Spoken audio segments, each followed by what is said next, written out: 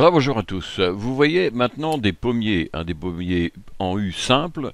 C'est une forme que je ne conseille pas personnellement pour les pommiers qui préfèrent une croissance euh, horizontale. Hein. Là, vous voyez qu'il n'y a absolument aucun bourgeon, petit rameau à fruits sur ces, branches et très peu de, bourgeons à fleurs sur ces petits rameaux.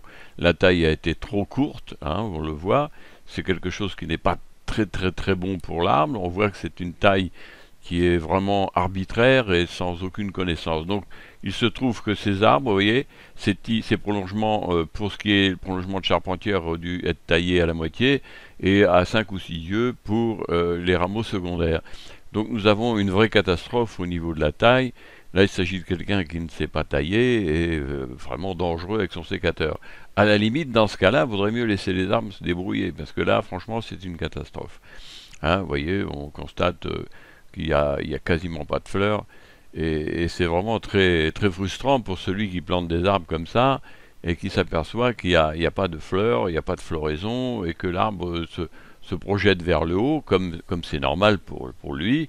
Donc c'est un investissement, là il y a quatre arbres qu'il a dû acheter euh, dans une jardinerie quelconque et il se trouve qu'il va vite se décourager parce que ces arbres, vous voyez, il y a une clôture à côté, ces arbres vont vite prendre du volume par le haut, et bientôt il ne pourra plus cueillir les fruits, même s'il y en a au bout des branches. Donc euh, c'est à déconseiller, hein. moi je vous déconseille ce genre de, euh, de, pratique, hein. c'est dommage, là il y a quatre pommiers en, U simple, euh, il a dépensé de l'argent, et c'est décourageant d'aller dans ce genre de, de démarche. Donc je vous dis au revoir et à bientôt. Et surtout, euh, allez voir sur le blog euh, toutes les explications gratuites qu'il y a, sur le blog les secrets de la taille des arbres fruitiers. Hein, moi je vous dis au revoir et à bientôt.